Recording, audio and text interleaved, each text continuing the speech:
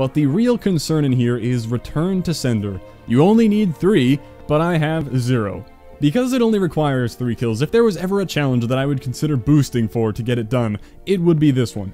Boosting for a Return to Sender doesn't seem like laziness, because it isn't a lot of work, it's a lot of luck. This challenge isn't a grind, it's an incredibly lucky situation that I feel like I have no control over and I don't know if I will ever complete. A couple of times I've seen people throwing out C4 and I'll try to shoot it as fast as I can, but it's never quick enough for it to blow up in their face.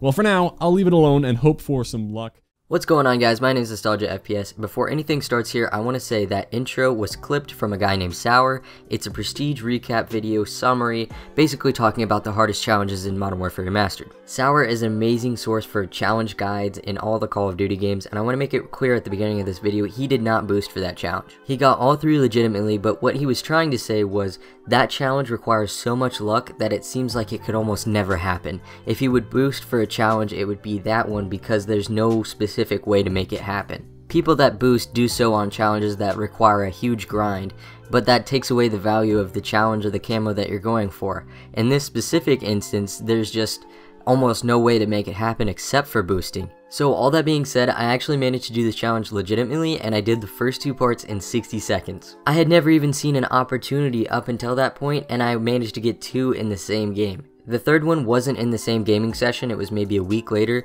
but still, being able to do the challenge, at least in one prestige, was really cool for me. And also, before I jump into the actual clip of the 2 and 60 seconds and then the third leg of the challenge, I want to show you guys what I thought was going to be my first part to the challenge. In this clip that you're seeing here, I call in an airstrike and it falls on the A side of Crossfire, and it actually triggers somebody's Claymore. Even though Return to Sender's challenge says shoot their own C4, you can do it with Claymore as well. So since the Claymore was triggered and I got an elimination on the guy with his own Claymore, I thought I was going to get the first part of the challenge. What I actually got was Counter Claymore, which was get an elimination on somebody with their own Claymore. What makes Return to Sender so much harder is I had to trigger his own C4 or Claymore with a bullet rather than an airstrike explosion, so there's a specific way that you have to do it every time. Alright, here's the start of the first clip. I'm going to let the gameplay play out and then then I'm going to come back after all the challenges are complete and talk about challenges in Modern Warfare Remastered.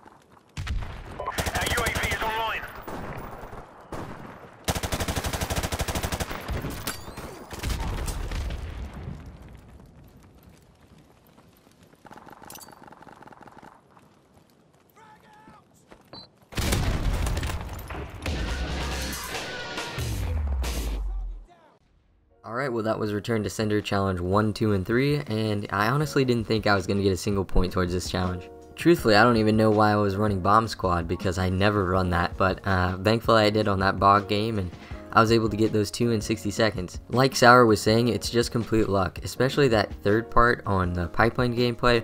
I had no idea I was going to complete the challenge there, I was just trying to throw a grenade in a room. That's the case with so many challenges though, it's just a lot of luck.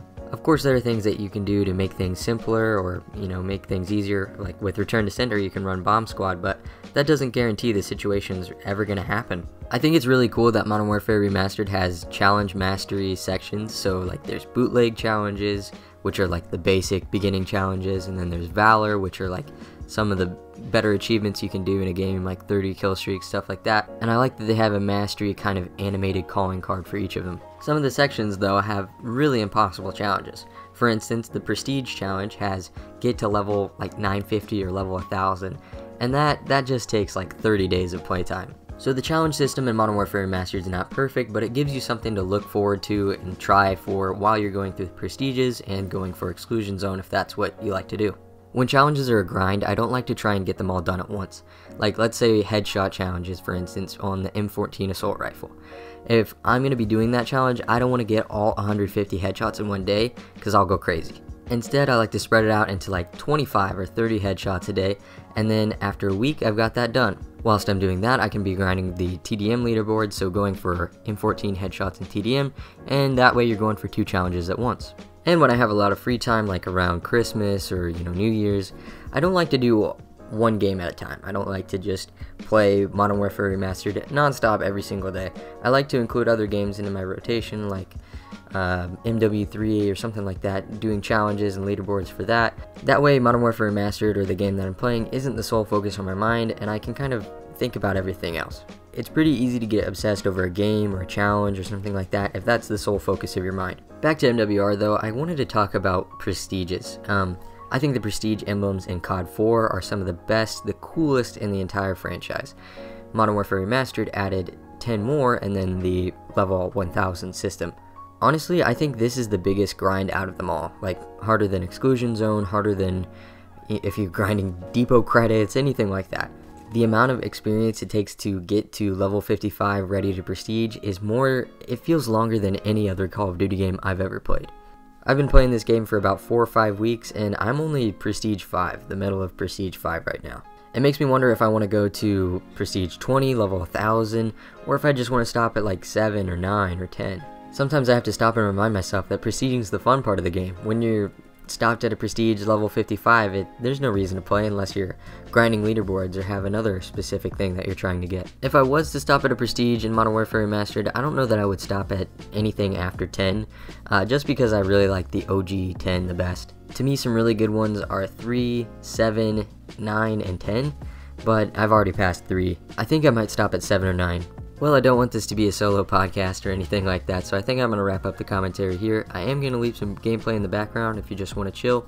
It's M14 on Winter Crash, and it was one of my better gameplays when going for Regal assault rifles, but uh, yeah, I'm going to leave that there. That's it for me. See you in the next one. Peace.